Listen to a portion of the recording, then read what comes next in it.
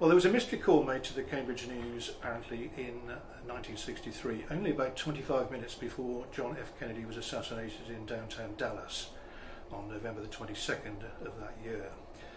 No one has ever been able to establish whether that call was actually made, but the fact that it may have been made came to light in the 1980s when a London solicitor called Michael Eddowes started to investigate a document he'd found, allegedly from the CIA.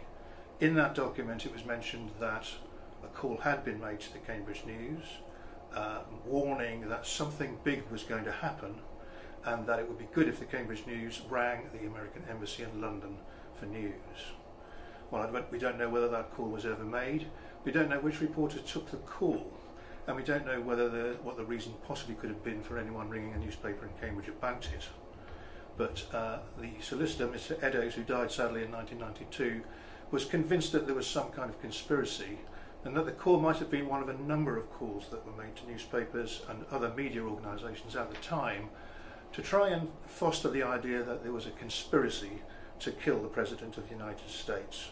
We don't know whether that is ever going to be established as a fact, but needless to say, today, because of the release of the latest documents relating to the JFK assassination, there's a lot more speculation about what might have happened.